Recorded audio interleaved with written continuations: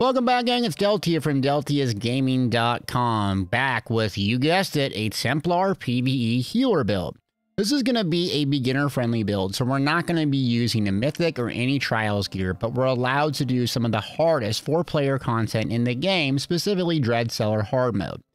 You're going to want to watch this video if you want to learn about healer mechanics, some easy setup on the bar, along with some gear options that you can get that are very flexible if you do plan on doing trials or very hard content. Healers have changed slightly, but there's just so many dang gear options right now and a lot of really good things to collect and pick up. So I'm going to walk you through skills, gear, champion point, what I use to be effective, and you can ultimately change this as you see fit. Thanks for watching.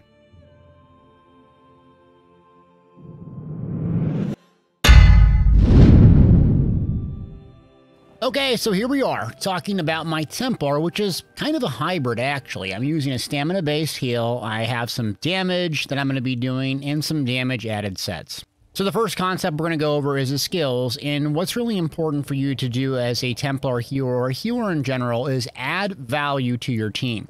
You can do this in a couple of different ways. Typically, people add resource sustain with gear sets and other buffs and debuffs. You can also add damage with debuffs and stripping of armor and so forth. And maybe even add a little bit of damage yourself. So our goal with this build is to heal well but not just heal. We want to increase overall damage per second of our group through either resource sustain or damage added sets or even doing some damage ourselves. So that's kind of how I have it set up. So we're going to talk about the skills first and go through them. So the first thing up is what weapon choice and why. Obviously, we're going to go with the Restoration Staff for a variety of reasons. As a Templar, you really don't even need Restoration Staff, to be honest, but there are some good abilities and skills in here. So the first skill up is Radiating Regeneration. Basically, it's going to be a heal over time. I take this morph. It has a little bit longer duration, and it heals three players. This is going to be very important to keep using this off cooldown because the heals over time are going to proc Spell Power Cure, giving major courage, which we're going to cover a little bit later. Consider this your priority on your front bar. And the way I have my front bar set up is very, very simple. And you could add, subtract, or take away things to make it a little bit more complex, maybe a little bit more utility. So that's Radiant Regeneration. We're going to cast that one to two times, depending on how many people are in our party. Next ability up is going to come from our class, Dawn's Wrath. And this is Purifying Light, one of my favorite abilities in the game, both PvE and PvP. You're not necessarily using this for the damage, though it does add some damage. It's going to soak up like a balloon, then explode after a while, dealing damage, and it scales off of your spell damage now. And another reason you're going to use this is going to put a healing circle around the target when it blows up for six seconds, and that can heal for quite a bit. So usually on the boss or mini boss, whoever our priority target is, I put this on them. So when it explodes, that heals per second on the tank at least, or in melee range, is significantly noticeable. Another thing this does, and what I constantly preach people, is looking in the passives, because this this will really make a difference in understanding your class. Prism, this right here, casting a Dawn's Wrath ability while in combat generates 3 ultimate, and this can occur every 6 seconds.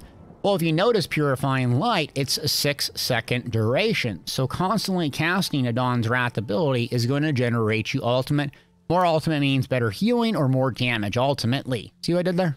Another thing to note about the Dawn's Wrath ability is really important in raids if you're going to be doing that, and that's Illuminate. Casting a Dawn's Wrath ability grants minor sorcery to you and your group for 20 seconds, increasing your spell damage. So you as a Templar can get major and minor sorcery in your class kit, one with potions and one with casting a Dawn's Wrath ability. That's why having at least one Dawn's Wrath ability is so dang important, because it generates ultimate and does proc this, increasing overall DPS and your healing potential as well. Next up, I have a flex spot. So for average players, I wouldn't overcomplicate things, and for me specifically, I just like to keep it simple. So I have inner light in this specific spot on my 3 key. So it just adds uh, max magic. What that means is more max magic, more healing. Especially if you're running a proc set that's based off of max magic like healing, it's going to heal for even more. So this is just mainly to keep it simple, along with the spell critical buff on our front bar, but we're going to use potions primarily to keep that up 100% of the time. Something you can slot in here instead is combat prayer. So Combat Prayer, and the reason I don't typically run it is Minor Berserk. A lot of folks in Trials and Dungeons are running a 5p set called Kinras's Wrath. This is going to give people around the person that has 5 stacks for proc Minor Berserk, so that buff becomes a bit redundant. Moreover, I have Minor Resolve from this ability here, and Minor Resolve is provided for my Magma Incarnate Monster Helm, so it's basically a redundant um, skill the way I have it set up. Also, if you're playing in groups that are uncoordinated, folks typically don't know where to stand or why. So as a healer, what you're trying to do is kind of set up like a diamond formation where the, the tank should be facing this way away from the group. You should have two DPS roughly kind of a little bit spaced apart, and you kind of come back here as the healer, and then you hit your DPS dust. Well, in coordinated groups where folks have been playing this game for years and years and know where people are in the positions to fight, that's really easy. For the average player that's just queuing up a random bet finder, you're not going to actually find that in reality. That's why I swapped that out. Another ability you can swap for is uh, Illustrious Healing. So this is just a big old healing springs and it just does heals over time. Downside of it is, is it's not mobile. So it does really, really well in stationary fights. Think trials or dungeons with very long single target fights. But you'll notice it's not mobile at all. So I pretty much slot that in just for trials if I'm going to do that. Otherwise, I just leave my bar very simple for high mobility dungeons, which is primarily what I play along with arenas. Next ability up comes from the Aedric Spear skill line. That's Blazing Spear here in my 4 key. So it does damage. It does damage over time for 10 seconds. And folks can pick up and activate the synergy, restoring stamina or magic or whatever is higher. The other morph of this, Luminous Shards, gives you magic and stamina back. That's useful, but primarily useful just for the tank. The reason I go with this morph is it does a lot of damage, a staggering amount of damage over time. So even as a healer, I'm still pulling 20 to 25,000 damage per second just keeping this up and some other buffs. So that's why I go with this. It really adds a lot of damage and is quite noticeable. How I use it is kind of similar to uh, my Dawn's Wrath ability, Purifying Light. I will light up a target with Dawn's Wrath and typically throw a spear on top of it. And you can see that spear just ticking, damage over time, and it can proc Burning Light and explode along with Dawn's Wrath. So I keep those two things on our primary target. Is the tank is typically right on top of it and or melee DPS, so they're going to get the synergy to resource sustain. It's going to do a little bit damage, and it's going to proc a bigger explosion on my Purifying Light. So, so far, what we have on our front bar, if you play this loadout, 10 second heal over time, um, a six second explosion, but I usually keep it up every 10 seconds and then a 10 second blazing spear. So you see that key right there is 10 seconds. So on our front bar, typically we have three cooldowns or three abilities that we're going to activate if we're not needing a big burst heal. One, two, three, bar swat. But we do have a burst heal on our bar, and that's Honor the Dead, Restoring Light here, the very first ability. The reason I go with Honor the Dead is I'm not doing a lot of trials. I'm doing a lot of dungeons. So I really only need pretty much a single target heal. Usually my heals over time are so much that it doesn't really matter that much. So that's why I go with Honor of the Dead. And it does proc Magma Incarnate. If you're doing trials and you're playing with larger groups, I would go with Breath of Life, the other morph. This is just incredible for resource sustain. Now we go with the ultimate of choice, and you have two really strong um, choices in my opinion. Life Giver or what I call Resty Alt, Resto Alt. It just basically casts these three abilities um, all at once Radiating, um, Combat Prayer, and Steadfast Ward. It'll cast them all at once. It's just your get out of jail free card at 118 Ultimate. This costs nothing. So it's almost always up. This is extremely useful in high mobility fights or when you have to get an ultimate frequently to survive for your team. So Dread Cellar hard mode, this is what I use. There's usually a better one if you don't need actually a strong burst heal, and that's Reviving Barrier. So what Reviving Barrier does, well, it gives you a big barrier, obviously. And it does some heals over time, which is nice, um, and you can cast this preemptively. It has a pretty high magic cost, but there's a really good uh, passive here if you got to do some PvP to get this, but increases your magic recovery by 10% just for slotting it. So slotting on our front bar, which was what we probably need um, to heal the most, is going to give us a lot of recovery. So that's an option that I would highly recommend using Reviving Barrier in this specific spot, unless you're doing high mobility, high intensive uh, hard mode or arena fights where you're unfamiliar, just pop Resto Alt. Now we're going to go to the back bar. And so you're going to hear a bunch of different reasons to use different um, staffs. Fire, lightning, and ice. And they all have their pros and cons. And usually it's in the elemental status effects. So if you don't know, you can come to this help. uh, menu here and you can type in status effect. Of course, it's not working. And it'll say right here, status effect. So, fire, target burns for additional damage, shock, and instant damage applies minor vulnerability for 4 seconds. Frost, instant damage applies minor brittle, minor brittle, and, and so on. We'll talk about why minor brittle is important, but you have to have the staff equipped for that effect to happen. So, it kind of just breaks it down here, and why I'm sticking with the shock, couple different reasons. One, minor vulnerability. You can get this buff Typically, it's much, much easier to get this buff in a trial, especially if you're playing with other wardens and so forth. I set this build up for the average player to pick it up and not be dependent on what other people are running and have this expectation that you know what every single player is running. Because that's just not reality in PvE. That's not reality for me. And I have a sweaty PvE group that I roll with.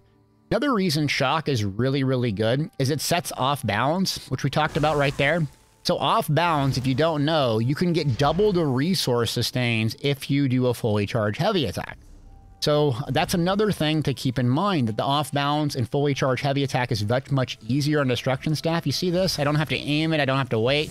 I just sit there and just rip off a fully charged heavy attack, okay? It gets better. So when I set something off balance and I'll see that pop up, we'll come to the restoration staff here. Again, we're looking at passives. This is what it dictates why you do things. Your fully charged heavy attacks restore 30% more magic. So this is what I use in PvP actually on my Magplar, but I'll do this. I'll see the off balance, I'll bar swap, and I'll fully charge uh, a resto. And it's basically like 12 to 13,000 magic or more um, off doing that fully charged resto. So it's a really nice way to sustain. Also procking uh, vulnerability, adding damage. So you don't have to worry about who's in your group, who's wanting, running what, what buff and why. So that's why I go with a lightning staff. And we've already talked about one ability from Destruction Staff, and that's Elemental Blockade. That's going to be my three key here. So what this is going to do, it's going to proc the status effect, and it's also going to proc the charge uh, enchant on our back bar using a shock enchant. So the whole point of this is to set enemies off balance, and hopefully we can get that minor vulnerability to proc, set them off balance, and also do a fully charged heavy attack. People will tell you to run Frost Staff, people will tell you to run Fire Staff do whatever you feel is best. I personally like the lightning staff, and that's what I'm sticking with. Next ability's up, and we're going to go left to right here. It's just building your Templar house. So um, channel uh, focus here. This is our ability. It does so many dang things. It costs basically nothing. 25 second duration, a very small radius of 3 meters, but it gives you resistances and gives you magicka. Uh, plus, it heals you while you're standing in the rune, and will proc some of these um, buffs here. Let me see, find it. Da -da -da. It's minor mending. So minor mending. It looks like this. So that's step one of our house. And you can come outside of it and you're still getting your armor buff. So you can just lay it down and rotate around. Don't have to step in it. Now when you step back in it, it's going to give you the healing. Okay? So don't feel like you have to hang in there, but you at least need to cast it to get your armor buff. More armor means less damage you're going to be taking. Um, Extended Ritual is up next. So this is going to be heals over time. Allies can use the synergy, and you can use the other more Ritual Retribution to do a little bit more damage. It does cut the duration in half, so that is something to be cognizant of. It has a big, nice uh, radius of 12 meters, and it cleanses five negative effects. That five is really noticeable, especially in some specific fights and, and dungeons. It's going to scale off your highest offensive stats, so max magic typically or spell damage. So you put both of these things down, and you're getting a lot of heals per second. Just standing in your rune and also that big ritual, and you can see how large that 12 meters is. And then we talked about blockade, and then now I have puncturing uh, sweeps in this specific spot. Let me show you. So the reason I have puncturing sweeps in here is increase your critical damage done by 10% with an Aedric Spear ability slotted. So you'll notice I have one on the front and one on the back for this specific reason. Typically, I don't do too many just sitting there doing puncturing sweeps, but sometimes it's actually necessary. So if all my buffs are running, uh, I'm good on resource sustain. I don't have another global cooldown to take a, uh, a, hold of. I'll use puncturing sweeps, especially if it's trash packs or something else. I typically don't want to be too close in range but it's nice to have some flexibility and do damage, not be completely dependent on the other DPS. So if we're kind of thinking about this uh, back bar, you have these very long duration buffs here, 24 seconds, so you're not really necessarily reapplying these frequently. The ones you're going to reapply is your blockade every 14 seconds and this one here. Echoing Vigor. This seems very odd that I would have Echoing Vigor, and really it's for the resource, um, our five piece set. It's going to give weapon and spell damage to five people in our group. So this is a stamina based heal. It has 2800 stamina. This is why I'm going to use Tri-Stat food, so I get a little bit more stamina pool. And the heal is okay. You can see it's, you know, 3,000 on a crit there, 1,800. So it's not necessarily the reason we're using it for the heal. We're using it for powerful assault. Tanks typically run this, but not always. Again, you don't want to be dependent on who's running what, who's doing this, who's doing that. And I'll give you some other flex spots, but consider this, if you're not going to use the powerful assault, consider this your flexibility. I wasn't using Powerful Assault. What I would put on here is Beam, Radiant Glory or Radiant Oppression. Glory is nice because it heals you based on percentage of missing health. Radiant Oppression is nice because it does a bit more damage. So I would like Glory if I was going to be doing this as a healer because it gives me a range execute. So when everything up is my buffs are up, I can just sit back and beam it along with the other DPS and get it down. So again, I would use Echoing Vigor with Powerful Assault to have a ton of value added. If you don't, fine, swap it out. Next ability up is Aggressive Warhorn basically the staple in PvE DPS. It's going to add some max stats, which adds max damage. And then also it's going to give major force for 10 seconds. A very, very important buff. Now, there is a crit damage cap. So you have to be aware of this, and this is where you can find it. Crit damage, 22%. We're nowhere close to this, but the value is 125%. So your DPS need to know not to have over that with a major um, force up. So with the aggressive Warhorn up. So be aware. Of, and that's what we're going to use offensively. So this is like, boom, we need to do big damage. It's also in the same um, assault skill line. So it's going to proc powerful assault as well. Speaking of powerful assault, let's switch gears and talk about the gear. Let's talk about the five-piece powerful assault and some of the other gear choices. I got lightning staff for powerful assault back here. So when you cast an ability while in combat, you and five other group members, so you're going to want two people to run this in a trial, within 10 meters gains 307 weapon and spell damage for 10 seconds. So the, the heal from Echoing Vigor lasts 10 seconds. This is where your um, basically your gameplay loop is. You have some of those uh, 10 second buffs on the front of your bar. Coming back here, you have a 10 second heal over time with a 10 second duration buff on your back bar. So you are kind of swapping back and forth. This isn't super critical that you maintain this through going bigger, but it will add a ton and ton of damage. Now, what I use instead of this in replacement of this, if I'm doing a trial or someone else is running this, I'll run something like Stone Talkers, this from Rockgrove trial. A little bit more complicated. But you're going to basically put a fully charged heavy attack, put a bomb on something, it blows up and restores resources for a certain amount of damage that's been done. That is a trial set, so not necessarily easy to get a hold of. If you don't like doing that, there's Hollowfang. This is a good old staple and what I've used for quite a long time, almost this entire year. When you do critical healing or critical damage, it's going to spawn this ball, giving uh, exploding, restoring magic, implying minor, uh, minor vitality, I should say, to group members within six meter radius increase in their healing done, and it can occur every nine seconds. So either way you do this, you want your jewelry and um, your back bar staff to have something of value, whether it's resource sustained, whether it's damage added. This is what I really like. Now let's swap into talk about the five piece on the body at all times, and that's spell power cure. Basically, the healer's job is to provide major courage, whether it's in a dungeon or a trial. Typically, that's what's what's going on. While the tanks provide minor courage. I'm doing both with this specific build. So we're getting major courage through spell power cure. The five piece when you overheal, meaning someone's at 100% and you're still healing them, it's going to proc major courage for 5 seconds, increasing their weapon and spell damage for 430. The strength of this set really is that it's mobile. So it doesn't require, like Oli, Olimire, a big rune where you have to step into it and get it. Downside is the duration isn't very long. So this is fantastic for dungeons because a lot of the dungeon fights you have required uh, high mobility. And you can expect high uptime because pretty much no one's taking a whole lot of damage outside uh, the tank. And the heals over time usually keep people topped off or above 100%, keeping high uptime on this. So another set, like I talked about, Olimire is the other one. And this can do the same thing, but it puts a very small circle down. So that's something you can run. So that's going to be our five piece on our body at all times, uh, Spell Power Cure. You can use Oli or use another set if you want. Heck, even Mother Sorrow with high spell critical can work. Now, next up is going to be Magma Incarnate. This thing is absolutely incredible. Not perfect, not good for every situation, but Dungeon's incredible. What it's going to do is the one piece is going to give you great resource sustain, both magic and stamina. You're going to heal target. The lowest health is going to uh, proc this ability that's going to give minor courage and uh, minor resolve, increasing weapon and spell damage and armor for 10 seconds. It can occur every 15 seconds. And the ball can bounce around to group mates. So if you're in this dungeon, you're actually going to give minor courage possibly to every single person in the dungeon. But it's proc by a single target heal. That's why we're taking Honor the Dead morph. That's why we're taking some of these other morphs. Um, Channel the Focus will also proc this as well on yourself. So you're keeping a very, very high uptime. This thing almost always fires out. This adds a ton of damage because if you've calculated already, this is 215 spell damage and weapon damage. This right here is 430. And this right here is 296, but at gold quality, it's over 300.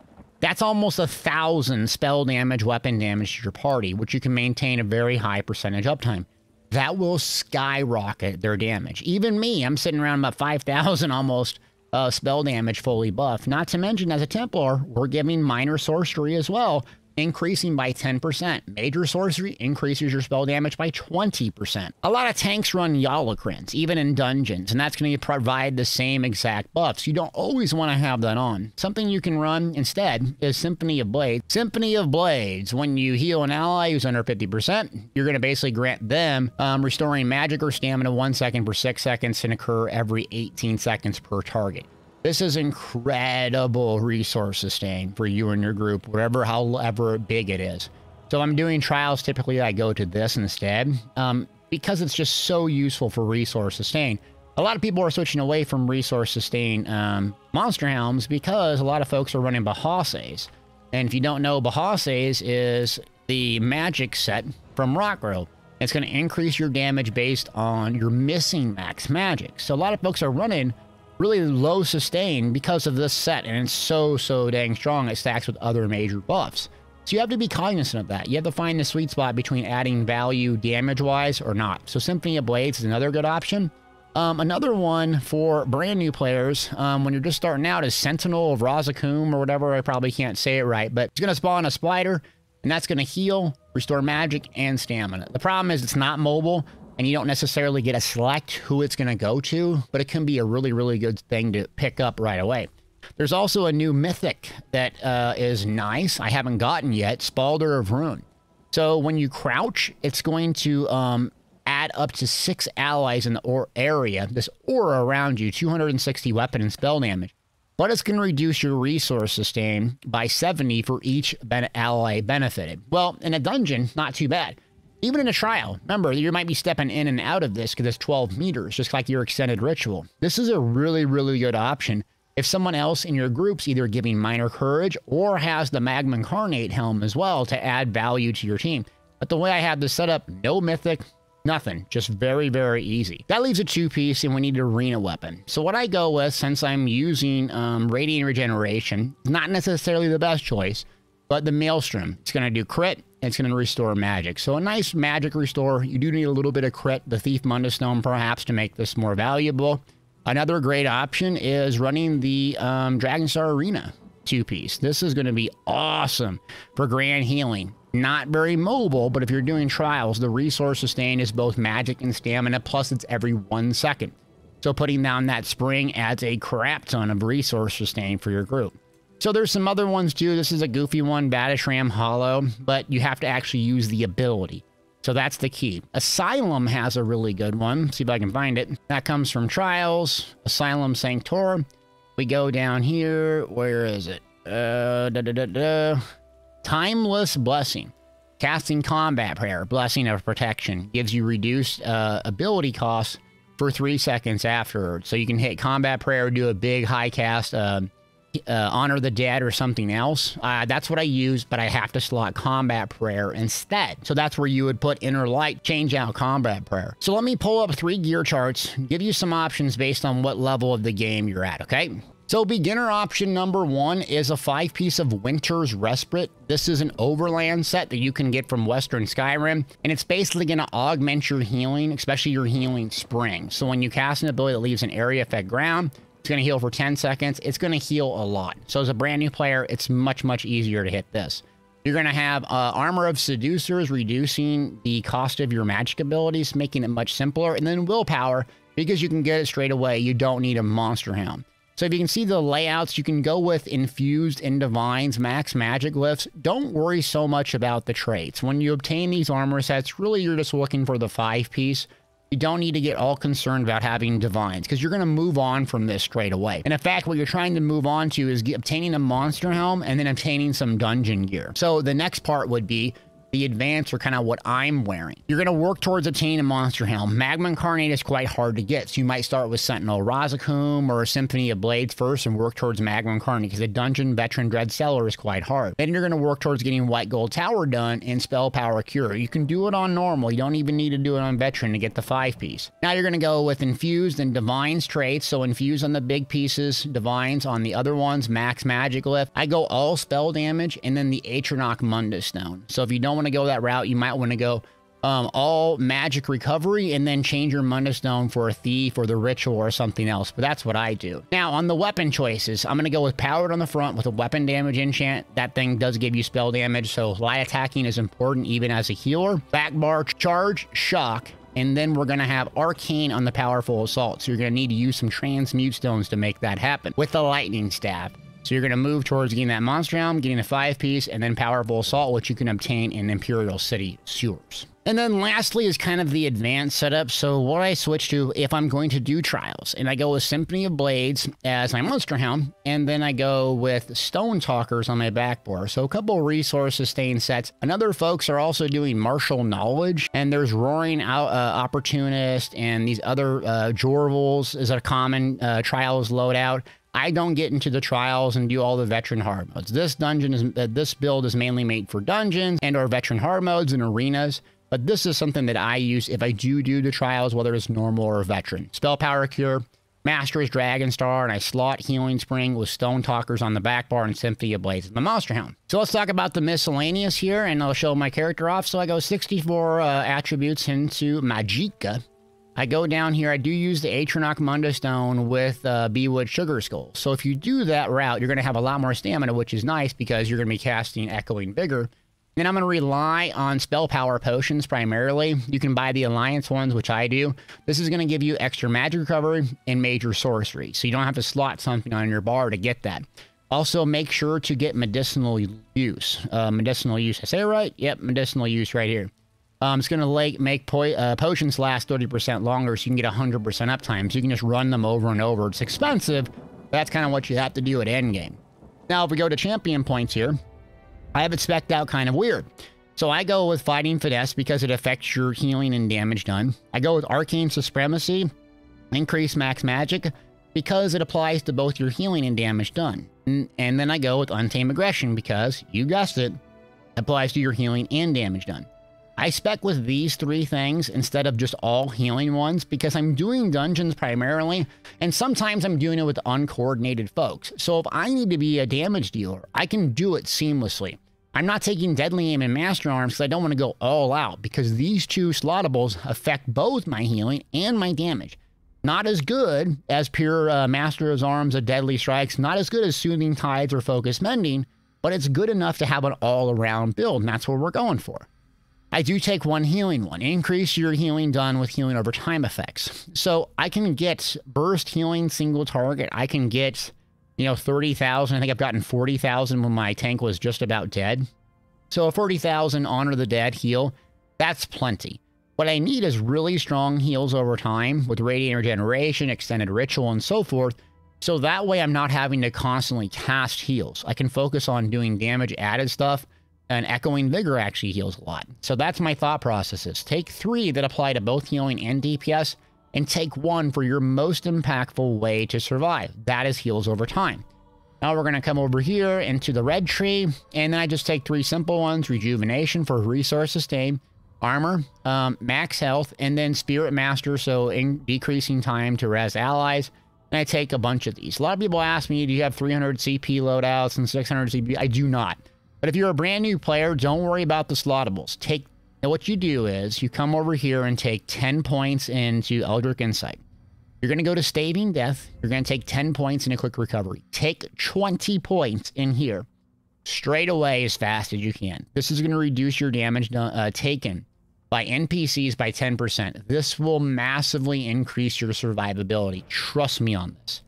Insane difference in your survivability. So come here first if you're a brand new player. Or if you're a sweat lord like me, you got a gazillion champion points, it doesn't really matter. So, and then the green tree, there is some benefit to taking this warm out and gifted, uh, gifted rider. But usually I just go with Treasure Hunter, Rationer, Liquid Efficiency, and Steed's Blessing. I don't even know why I have this slottable. I'm exposed here in this. I shouldn't have showed you that. Delete that. But yeah, that's kind of my champion point loadout. And so a quick rotation, like how you actually play this thing. And I'll, I'll set my house down is what I do to start. And then I get in combat, then I hit Echoing Vigor.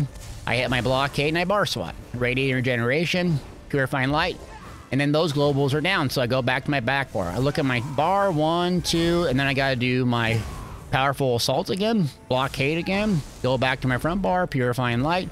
So it's three globals on the front. You might get one, two, and then echoing, channel down, potions. We're going to put blockade down, purifying, and this is it. So the time you take is, you only take time away from doing this rotation when you're taking pressure. I need a big burst heal. Otherwise, it's basically three globals on your front, three globals on your back, and you're kind of ping-ponging back and forth between those two. So that's the build. Hope you get something out of this. I got some gameplay where we narrate a veteran hard mode fight. I'm going to let you watch that. So if you like these type of videos, let me know. I'll be happy to keep on cranking them out because I love this game, love these builds, and this Templar is really, really good. Basic, you don't have, you can carry in a dungeon, and you can adapt it and change it for a trial. Thanks for watching. All right, on you. Okay, so we're gonna buff up here. So I'm just you know, buffing, put my house down, powerful assault. He hits a cola, I'm gonna hit a warhorn, I'm gonna hit a blockade, purify. I'm gonna try to do my best to keep a stick on him. Um, it's tough as a tank, especially if you don't have a healer. Well, usually we 3 DPS it and no heals, but Gray's really good, so put purifying light. I'm gonna throw a stick over here. These little cubes, you get this NPC synergy. Um, we missed it, but the person that gets the synergy can basically one-shot these cubes. You want to do that because otherwise they'll start to pile up on you. So uh, Zoss loves their flame waves. See those guys? So I'm going to grab the thing here. watch. One, two, and highlights them so you can kind of one-shot them. And so you rotate around, and then this is the mechanic where you stop and usually dump. So we're going to do blockade. This is a really nice check um, because it's so intensive on mobility. So as a tank or a healer, it's a good check for you to do to see if your build can handle high mobility and high resource sustain. So that's why I like coming to this dungeon, not to mention it's just such a cool dungeon. The dungeons in this game are just incredible. They really are. So we're going to go down here. I'm going to save my ultimate for when the fire line's done. We're going to drop the house. I'm going to keep a stick on the healer, or the tank, excuse me. Right there. Okay, so here it is. So I'm going to hit a Warhorn. Uh, there we go. Drop a blockade. I'm going to build my house again. Hit my heals over time. You're seeing we're getting overwhelmed by these little totems. So I'm going to go grab this and try to knock them down quick. Otherwise, they'll kind of overwhelm you. There we go. And I got another one. So it kind of highlights them too, so you can see them through walls and stuff. One, two, three. Okay, got it. So then heals over time, rocking and rolling. Another one. So I'm just going to keep it up. The DPS can do their job. I'm going to throw a stick on our uh, tank here, so we got him down. Now there'll be two flame waves during execute, so we just got to kind of hang out tight. Again, throwing a stick, making sure our tank has resources is the number one thing. So it can be pretty tough, tough on the tank. Okay. Keeping my head on a swivel here. Throwing a spear out. Just doing big heals. We're at 20%. Grabbing the other thing. Trying to hit those last two remaining ones to see who drops here. And so this is what we're going to do, Powerful Assault. I'm to build my house, grab this, Purifying Light. I'm to try to get those last two in the back here, get those last two down. There we go. Light them up, throw a stick on them. And 8% we should be good. Uh, 400,000 HP left. Yep, I'm just going to breath here. 100,000. 100,000 on a Saint Laurent jacket. Okay. Good job. Nice job, y'all. Did good.